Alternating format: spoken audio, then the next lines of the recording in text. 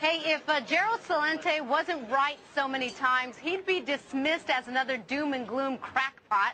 But he has been right, and he has predicted correctly many, many times. Well, now he's looking ahead to four years of President Obama, get used to saying that, and at least two years of solid Democratic control on Capitol Hill. Now, here's a quick synopsis. He says that by 2012, America will become the first undeveloped nation of the world. There will be another tax revolution, Gerald says, in America, marked by food riots, squatter rebellions, tax revolts, and job marches. And on a less political note, Celente says that the holidays will be a toned-down affair. Getting food, not gifts, will be the priority. Food and drink are the most important two things we rely on every single day. Go Foods Global has dozens of quick preparation meals for people on the go. That's right, food you can use every day. It tastes fantastic and prepares in minutes.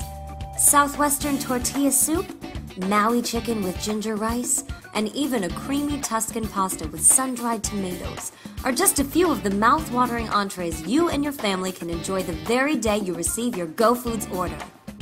Our products are also made with an extended shelf life, so you never have to worry about expiration dates. When it's time to quench your thirst, grab a bottle of water, rip and tip one of our amazing stick-pack beverages, and feel your mouth come alive. Extraordinary flavors, on-the-go convenience, and ease of use makes Go Foods the industry leader for the 21st century.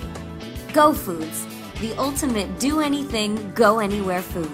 Serve it, save it, share it, and feed your freedom today with Go Foods.